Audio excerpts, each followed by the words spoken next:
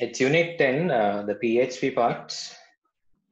Uh, normally in the uh, the regular classes, what we normally do is we do the HTML part, we do the CSS part, and in the HTML part, something that we do is the HTML forms. During the creation of uh, HTML forms, what I normally tell you is that uh, this is just the uh, the place where we just create the interfaces uh, how we handle these information what we pass and you know what we uh, do with the information that someone basically fills out in the form uh, needs to be handled by something that goes beyond the capabilities of html php happens to be a server-side scripting language uh, that allows you to manipulate all that data information process it and uh, basically uh, come up with results and you know give that result back to whoever is using the web page right? Under unit 10 we will start the scripting language part. The php uh, is the language that is uh, assigned to the a level curriculum. Now php is a language that we use to uh, do or create uh, web pages we consider that to be in the realm of web development. There's a significant difference between uh, web designing and web, web development, where uh, web design is basically referring to uh, the aesthetic portion of the website uh, and also its usability. Now, when it comes to the web designing part, uh, there are so much of newer technologies that are there, but you know the traditional technologies or the most primitive, basic, fundamental technology that we use to create web pages is, is HTML. And if you are uh, concerned about the appearance of the page, CSS as well. Uh, along with HTML and CSS, we can have a combination of other languages, uh, which are generally called as scripting languages, uh, to basically uh, reinforce the functionality of the page. Now with uh, HTML and CSS, what you can simply create is a web page that is nice looking, that produces you uh, or gives you uh, uh, like some information. But with the help of scripting languages, you are capable of adding more functionality to the page. Say, being able to log into a page. So you enter a username and a password uh, depending on whether it's correct or wrong, you will either be admitted to another page or else you'll be redirected or else rejected access to that particular page. So that is simply an if condition. Uh, you can in integrate all the if conditions, the loops that we have covered in programming modules uh, to basically uh, give add functionality to a web page, right? So that has to do with web development. Now, to uh, do web designing as well as web development, uh, there are different uh, types of tools that we use. These are altogether known as web authoring tools, right? Uh, tools that we use to author or create uh, web pages. So there are simple text editors such as uh, the Notepad, Sublime Text, Notepad++, gedit, and there are a lot of variety of tools that are available that allows you to basically create uh, a web page or else uh, create a script uh, that can be afterwards simply run on another different platform or an engine or something like that. So what this simply does is it will give you uh, like an uninterrupted interface that allows you to basically uh, do the coding on your own and some of these text editors might help you with, uh, say, code completion and then uh, pretty printing. Uh, there's another level of uh, tools that are available called WYSIWYG editors. WYSIWYG stands for, I mean, it's an acronym that stands for what you see is what you get, right? So it's like, you know, you can basically see the final output with uh, drawing tools and text formatting tools and all sorts of things are there. And it sort of sometimes gives you a split view of the interface as well, uh, the GUI or the final output of your interface, uh, that part, and then the code uh, editor as well, right? So uh, it's a combination of tools that allows you to uh, basically create web pages and scripts.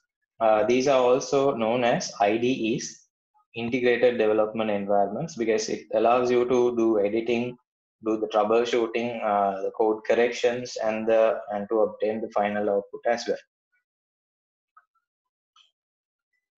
Uh, there are two types of web pages. One is called static web pages. Uh, that means simply uh, they do not change much often in the sense like these are mainly informational websites.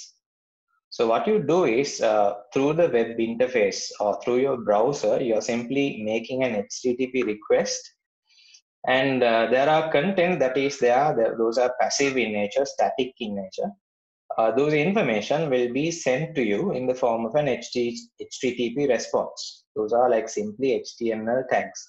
The web browser will interpret uh, the HTML tags and coding that uh, it received from the web server and then interpret it into graphics and elements and uh, text and all of that. In dynamic web pages, uh, these pages are influenced by the user's input. So it might be the time of day, it might be from where the user is logging in, uh, from which country maybe, uh, maybe uh, the type of browser and computer and device or device that uh, the person is using. So based on all of those factors, the output uh, might be processed and then uh, the output of the same web page, the same HTTP request might be processed and given in a different form based on those factors. So to do that, you can see the server side containing different levels of processing, right? There might be a simple uh, web server, and then uh, for the processing of that, there might be other database servers, and then it might be actually interacting with uh, actual databases, and then uh, the result will be sent to the recipient, or in this case, the client, so that uh, he's capable of receiving the final output, the results, uh, where uh, it's simply a, a, a, collection of HTML tags, uh, which can be interpreted by the uh, the browser of the of the user. Uh, obviously, we might have to go beyond the capabilities of markup languages in order to provide such facilities to the user. So in such cases, languages such as PHP, ASP, Node.js, all of those kind of kinds of languages generate uh, the outcome and send that uh, produced output, the HTML page, uh, to the user. Now, a scripting language, you can see it's it's a type of programming language, but it's more optimized for web use. Simple markup languages means with it allows you to create uh, the interface and the look and feel of the page the appearance of the page rather than the underlying functionality. So html we know what it does. It creates the content and then css changes the appearance. Xml actually allows you to uh, i mean helps you to pass data back and forth. It's basically a carrier language we say uh, extensible markup language. The data structures and the control structures that we have learned in uh, programming languages can be used in these scripting languages as well. There are two kinds of scripting languages. Uh, one is called the client side, which is basically the user and uh, the browser that the person is using to basically uh, access web resources. And the server side happens to be the web server and the other uh, supportive servers such as database servers and all that uh, to provide the services to the user. Some languages, the client side languages actually, the browser is the one that is actually processing that and giving the output. Uh, and uh, server side scripting languages, they actually get processed in the server and the result is sent to the user. In client side scripting today, uh, you can see that uh, the processing actually takes place in the browser, right? So the browser can be uh, Chrome, can be Firefox, can be something else, right? So any browser, uh, the browser is responsible of uh, creating the output, do the processing of the coding, and then generating the output and then giving it to the user, right? So, so the server is simply catering to the request. Uh, no processing is done on the server, and it's basically providing the, the coding along with, uh, say for example, it might be a JavaScript code that is integrated to the head section or the body of the web page. And uh, that content is simply sent to the browser. The browser interprets it and then produces the output. There can be if conditions, there can be loops. That coding will be processed and will be sent to the user, right? So the user basically gets the output, which is produced by the browser itself.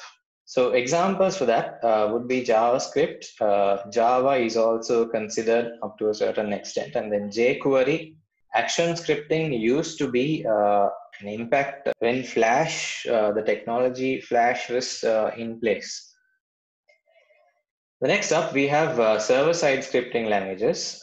Here, what happens is the processing takes place in the server, right?